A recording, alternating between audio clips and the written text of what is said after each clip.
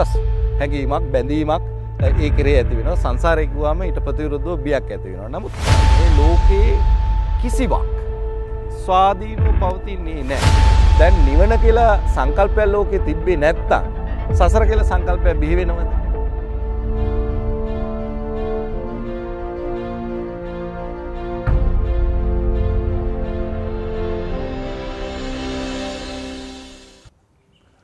අයිබෝවන් සාදරයෙන් පිළිගන්නවා පාරසංගතයේ අපේ වැඩසටහනස් සමඟ අපි ගිය වැඩසටහනේ අවසන් කරේ ඉතා ගැඹුරු සාකච්ඡාවකින් ම සඳහන් කරා බුදු දහමේ ගැන්වෙන වැදගත්ම ගැඹුරුම ගැන්වීම හේතු පලවාදය එමනතම් පටිච්ච සමුපාද. එතකොට ඒ පිළිබඳව බුදුන් වහන්සේට පස්සේ ප්‍රථම වරට ගැඹුරු විග්‍රහයක් සිදු කරන්නේ නාගාර්ජුන හාමුදුරු.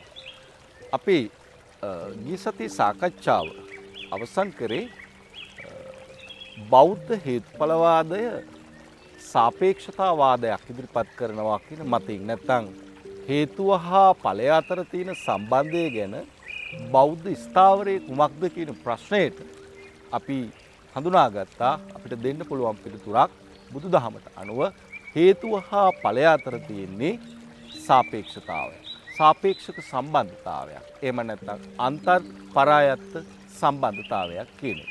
ඒතර මෙන්න මේ මූලධර්මයේ පදනම් කර ගනිමින් අපි ඊළඟට බැලිය යුත්තේ කොහොමද මේ අන්තර් පරායත්තතාවය එහෙම නැත්නම් මේ හේතුව හා ඵලය අතර පවතින සාපේක්ෂතාවය කියන සිද්ධාන්තය කොහොමද අර මහායාන ඉගැන්වීමක් වන ශුන්්‍යතාවය කියන සංකල්පයත් එක්ක සම්බන්ධ වෙන්නේ කියන එක.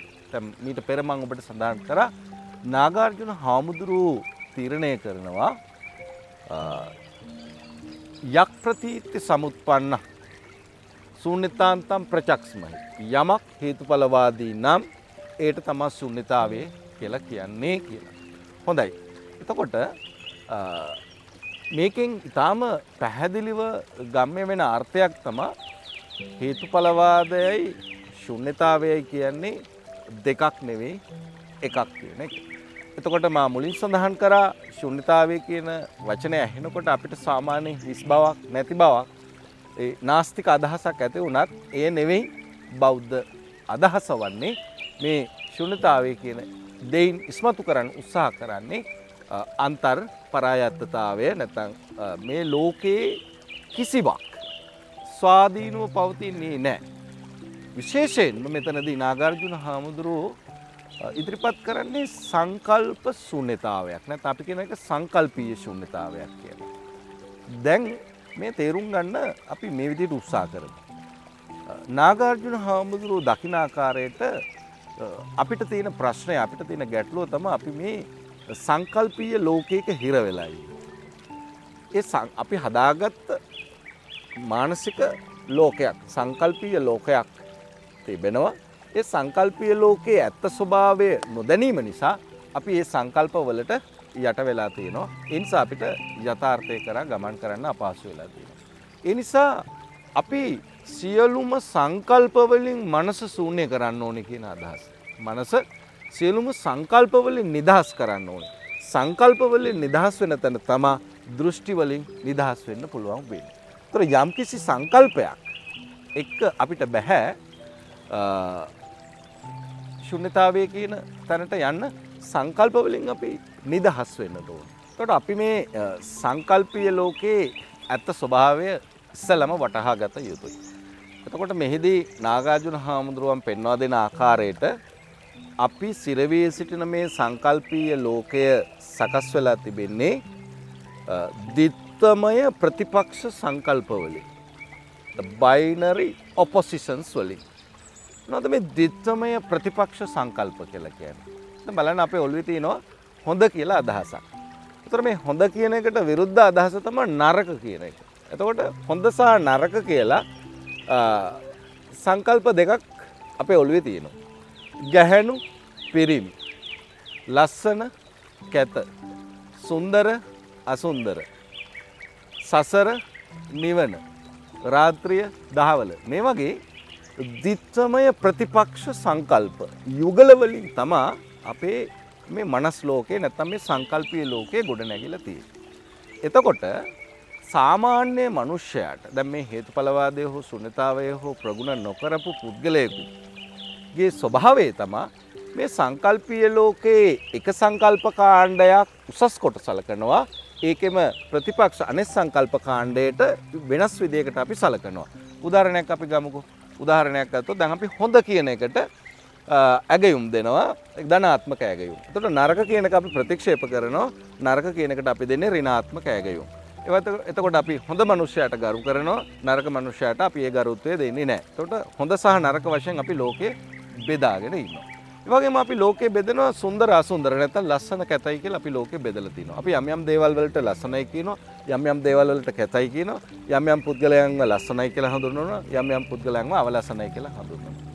එතකොට මෙන්න මේ විදිහට අපේ ඔළුව නැත්තං අපේ මේ සංකල්පිය ලෝකේ හැදිලා තියන්නේ මේ වගේ එකිනෙකට ප්‍රතිවරුද්ධ සංකල්ප දිත්වයන්ගේ සංකල්ප යුගලයන්ගේ දැන් ස්ත්‍රී පුරුෂ කියන සංකල්පය ගමුක අපි මීට පෙර මේක සාකච්ඡා කරා දැන් ස්ත්‍රිය පුරුෂයට වඩා පහත් කොට සලකනවා පුරුෂයා ස්ත්‍රියට වඩා බල සම්පන්න ශක්ති සම්පන්න පවිත්‍ර කෙනෙක් විදිහට සලකනවා එතකොට ස්ත්‍රිය පහත් කොට සලකනවා එතකොට එක සංකල්ප කාණ්ඩයකට අපි වෙනස් විදියකට සලකන අතර තව සංකල්ප කාණ්ඩයකට ඊට වෙනස් විදියකට සලකනවා. තව විදියකට කිව්වොත් අපි එක සංකල්ප කාණ්ඩයකට ඇලෙනවා.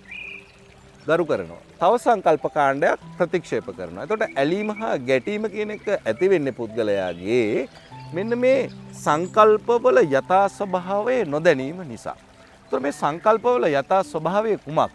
දැන් අපිට පැහැදිලි මේ සංකල්පවල යථා ස්වභාවයේ තමා අර නාගාර්ජුන හාමුදුරුව හේතුව හා ඵලය ආශ්‍රය කරගෙන කරපු විග්‍රහය දැන් අපිට මේ ඇතුළත් කරගන්න පුළුවන් මේ සංකල්පවලට. එතකොට සංකල්පවල ස්වභාවයත් තමා අන්තර් පරායත්ත ස්වභාවය. අපි උදාහරණයකට මෙහෙම ගමුකෝ. දැන් මේ ලෝකේ ඉන්න ඔක්කොම අය ලස්සන නම් කැත අය නැතිනම් අපි ඒ අයව හඳුන්වන්න ලස්සනයි කියලා කියන එකේ තේරුමක් තියෙනවා. කාගෙන් වෙන්කොට අඳුනා ගන්නට දේ අයට අපි ලස්සන කියන්නේ. එතකොට මේ ලෝකේ ලස්සන කියන එක විතරක් තිබුණා නම් කැත කියලා එකක් වචනයකුත් හැදෙන්නේ නැහැ. ලස්සන කියලා වචනයක් හැදෙන්නෙත් නැහැ. ඒ වගේම තමා මේ ලෝකයේ ලස්සන යයි වස්තු කොටසක් නොතිබුණා නම් කැතයයි කොටසක් නැහැ. ඒ වගේම තමා මේ හොඳ නරක ස්ත්‍රී. දැන් මේ ලෝකේ ඉන්න ඔක්කොම පිරිමි වුණා නම් යම් හේකින් එතකොට අපිට පිරිමි කියන වචනය භාවිතයට එන්නේ නැහැ. ඒකට හේතුව තමයි අපි කාගෙන් වෙන් කරගන්නද පිරිමි කියන්නේ. නැත්නම් කාගෙන් වෙන් කරගන්නද තව කොටසකට ගැහැණු කියන්නේ. එතකොට මේ ගැහැණු ගැහැණු වන්නේ පිරිමි නිසා. ඒ විතරක් නෙමෙයි පිරිමි පිරිමි වෙන්නේ ගැහැණු නිසා. එතකොට මෙන්න මෙතන තියෙනවා අන්තර්පරායත්තතාවය. ගැහැණිය රඳා පවතින්නේ පිරිමියා මත පිරිමියා රඳා පවතින්නේ ගැහැණිය මත. එතකොට මේ ගැහැණිය හා පිරිමියාගෙන් කොයි එක්කෙනාද උසස් කොයි එක්කෙනාද පහත් එහෙම එකක් වෙන්න විදිහක් නෑ මේ දෙකටම තියෙන්නේ එකම වටිනාකමක්. හේතුව තමා මේ ප්‍රතිවිරුද්ධ එක නැතුව එන කියන්නේ ගැහැණිය හෝ පිරිමියා නැතුව පිරිමියා හෝ ගැහැණිය කියන වචනයට අර්ථයක් එන්නේ මේ ලෝකයේ කැත මිනිස්සු නැත්තම් මේ ලෝකයේ ලස්සන කියලා මිනිස්සු කොටසක් ඇති වෙන්නේ නැහැ. මේ ලෝකයේ අසුන්දර දේවල් නැතිනම් මේ ලෝකයේ සුන්දර කියලා දෙයක් නැහැ. අපි රාත්‍රියේ දහවල ගමුකෝ. රාත්‍රිය රාත්‍රිය වෙන්නේ දහවලට පින් සිද්ධ වෙන්නේ. දහවල කියලා දෙයක් නොතිබුණා නම් අපි රාත්‍රිය කියන වචනේ අභාවිතයට යනවා. මොකද කුමකින් වෙන් කරගන්නද අපි රාත්‍රිය කියන්නේ. එතකොට ඔබට පැහැදිලිව පේනවා ඇති මේ සංකල්ප දෙකම එක විට තමා පැන නැගින්නේ. අපි දහවල කියන එක ඉවත් කරොත් අපේ භාෂාවේ රාත්‍රිය කියන වචනෙත් අපිට ඉවත් කරන්න වෙනවා. ඒ කියන්නේ මේවා අතර තියෙන්නේ අන්තර් පරායත්ත සම්බන්ධයක් සාපේක්ෂක සම්බන්ධතාවයක්. එතකොට මෙන්න මේ සංකල්පීය ලෝකයෙන් අපිට ගැලවෙන්න පුළුවන් නම් දැන් බලන්න මේ සංකල්පීය ලෝකයෙන් ගැලවුණාට පස්සේ අපිට හොඳයි නරකයි කියලා දෙයක් නෑ. අපි එතනින් ටිකක් ඉදිරියෙන් ඉන්න අය. හොඳ නරක කියන ඒවාට තියෙන සාපේක්ෂකාර්ථය. එතකොට අපි මේ දෙකම අතහලා යුතුයි.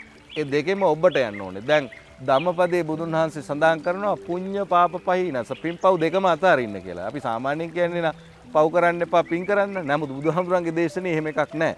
බුදුහාමුදුරන්ගේ දේශනේ තියෙන්නේ අවසාන විග්‍රහයේදී තියෙන්නේ පින්පව් දෙකම අපි අතාරින්න ඕනේ.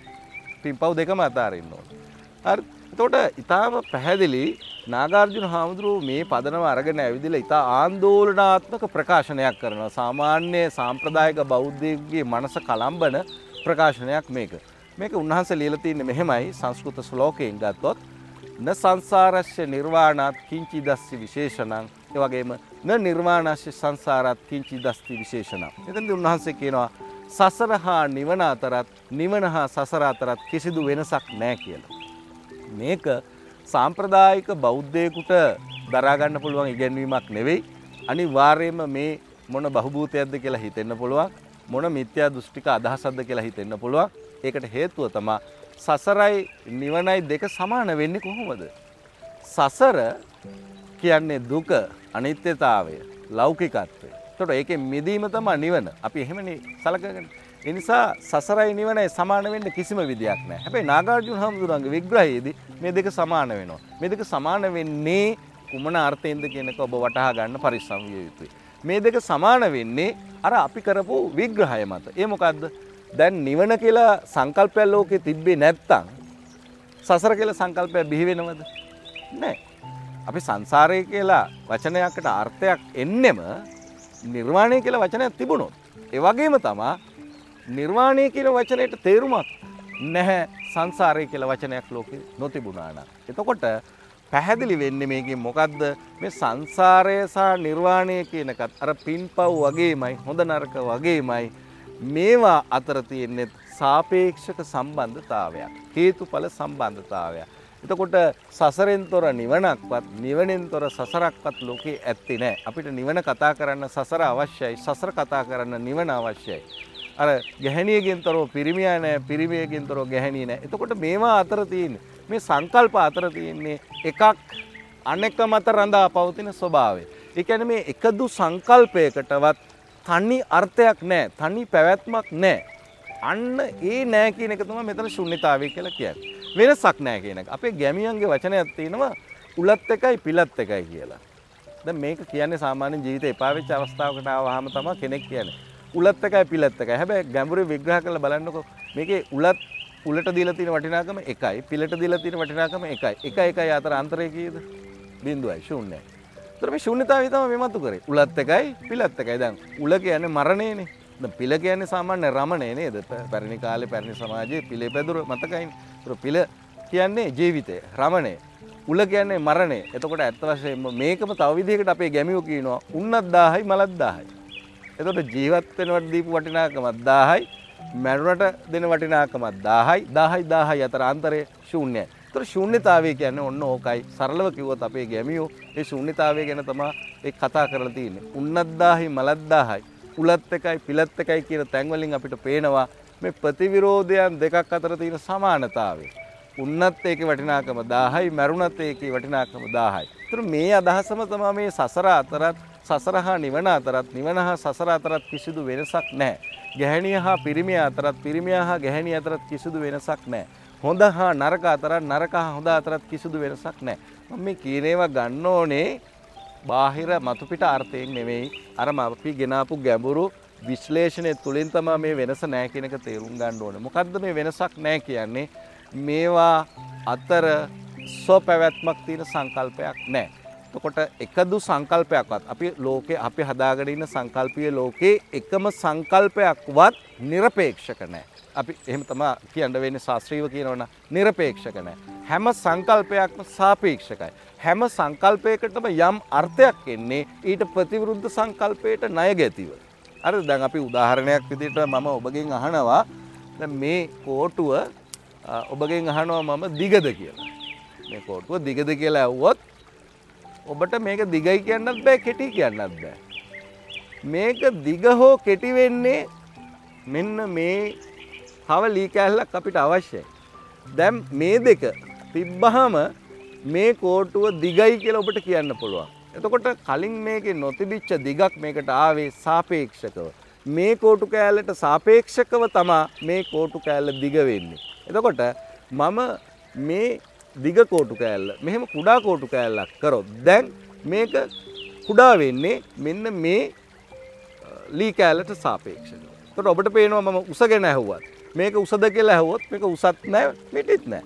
මේක හැබැයි මිටි වෙනවා උස කෝටුවත් තිබ්බ ගවම හැබැයි මේක උස වෙනවා මෙන්න මේ චූටි කෝටු කෑල්ල ඉදිරි. එතකොට මේ තවත් එකක් නොමැතිව තවත් කෝටු කෑල්ලක් නොමැතිව මේ කෝටු කෑල්ලට වඩා උසින් හෝ ඊට අඩුවෙන් හෝ වෙනත් කෝටු කෑල්ලක් මනසිං හෝ මවාගන්නේ නැතිව ඔබට කියන්න බෑ මේ කෝටු කෑල්ල උසද දිගද කියලා. මෙන්න මේ කතන්දරය අපිට හැම දෙයකටම ඇතුළත් කරන්න පුළුවන්. ඉතින් මං හිතන්නේ කාලය ගෙවී ගිහින් තිබෙනවා මේ මාතෘකාවේ මං හිතනවා අපි දැන් අවසානයකට පැමිණිය යුතුයි මේ වැඩසටහන සඳහා. එතකොට මේ නාගාර්ජුන හාමුදුරුවෝ ඉදිරිපත් කරපු සංකල්පීය ශුන්්‍යතාවය කියන අදහස තමයි අපි කතා කරමින් ඉන්නේ.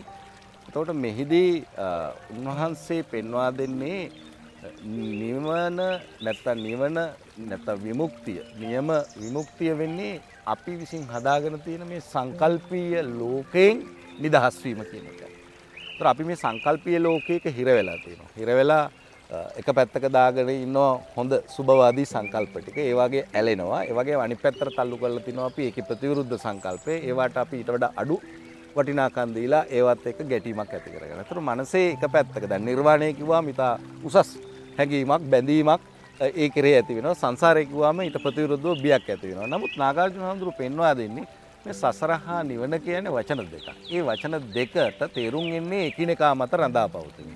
එතකොට නිවනට තනි අර්ථයක්වත් සසරට තනි අර්ථයක්වත් නැහැ. නිවන සසර විතරක් නෙවෙයි යම්තාක් ඇතිතාක් අපේ ඔළුවේ තියෙනවාද සංකල්ප ඒ හැම සංකල්පයක්ම සාපේක්ෂකයි. ඒ හැම සංකල්පයක්ම ඊට ප්‍රතිවිරුද්ධ සංකල්පය මත තමයි අර්ථයක් ලබන්නේ කියන එක. උස උස මිටි ඒ වගේ හැම දෙයක්ම හැම දිත්සමය ප්‍රතිපක්ෂ සංකල්පයකම යථා ස්වභාවය මේකයි. ඒ නිසා මේ සසර විතරක් නෙවෙයි අතාරින්න ඕනේ නිවන කියන සංකල්පයත් අතාරින්න ඕනේ කියන එක තමයි මේකේ පණිවිඩය. ඉතින් දැන් මේක අලුත් දෙයක්ුත් නෙවෙයි එක්තරා ආකාරයකට අපි ත්‍රිපිටකයේ ගත්තොත් මූල පරියාය සූත්‍රය. මූල පරියාය සූත්‍රය තමා ත්‍රිපිටකයේ තියෙන එකම සූත්‍රය බුදුහාමුදුරුවෝ දේශනා කරලා අවසන් වුණාට පස්සේ අසාගෙන සිටපු භික්ෂුන් වහන්සේලා නොසතුටු වෙච්ච. එක විශේෂ සූත්‍රයක් ඔය මහචාර එච්චම් මොරටෝගම නැතිතුමා තුවා සිංහට පරිවර්තනය කළ තින වජ්‍රච්චේතික ප්‍රඥා පාරමිතා කියන සූත්‍රය ඒ සූත්‍රයේ එතුමා මූල පරියාය සූත්‍රයත් ඇතුළත් කල්ලා හොඳ විග්‍රහයක් කල්ලා තියෙනවා. තොට ඒ සූත්‍රයට ඇහුන්කන් දුන්න භික්‍ෂූන් වහන්සේලා අවසානය සඳහන් වෙන්නේ ඒ භික්‍ෂූන් වහන්සේලා බුදුන් වහන්සේගේ භාෂිතයට අභිනන්දනය වුණේ නෑ කියලා. අභිනන්දනය වුණා කියන සතුරුුණේ නෑ. ඒතර බුදුහාමුදුරුවන්ගේ දේශනාවකට නොසතුරු වෙච්ච එකම අවස්ථාව. සතුටටපත් නොවෙච්ච එකම අවස්ථාව. ඒ කියන්නේ මොකද්ද? ආගෙන හිටපු අයට මේක තේරුන්නේ මේ සූත්‍රයේ අන්තර්ගතය අරගත්තොත් මේ සූත්‍රය මහායානයට ගොඩක් සම්බන්ධයි. මූලපරයයි සූත්‍රයේ බුදුහාමුදුරුව අවවාද කරනවා නිවන නිවන නිවනයයි මඤ්ඤණය කරන්න එපා. නිවන නිවන නිවනයයි ඒක බදා ගන්න එපා. නිවන නිවනයයි ඒක සංකල්පයක් විදිහට අල්ලා ගත්තොත් ඒකම අපිට නිවන් අවබෝධයට බාධාවක් වෙනවා කියන එක. එතකොට මේ නිවන කියන අදහසත් අපේ මනසෙන් ඉවත් වෙන්න ඕනේ. ඉහළ මට්ටමට යනකොට මේ නිවන සසර හොඳ නරක පින් පව් කියන මේ ඔක්කොම අපෙන් අතෑරෙන්න ඕනේ. මනසේ සම්පූර්ණයෙන්ම සංකල්පීය ශූන්‍යතාවයකට පත් වෙන්න ඕනේ. එසේ සංකල්ප වලින් අපි මිදිය යුත්තේ ඇත්ත වශයෙන්ම සංකල්ප වල යථා ස්වභාවය වශයෙන් ගත්තාම ඒවට කිසිම ස්ව අර්ථයක් ස්ව පැවැත්මක් නැහැ කියන පදනම තේරුම් ගැනීමෙන් පස්සේ. එහෙමනම් අපි ඊළඟ වැඩසටහනයි හමුවෙමු තව දුරටත් මේ පිළිබඳව අපි ගැඹුරින් සාකච්ඡා කරන්න බලාපොරොත්තු වෙනවා. එහෙමනම් අපි සමග රැඳී සිටියට බොහොම ස්තුතියි. ආයුබෝවන්.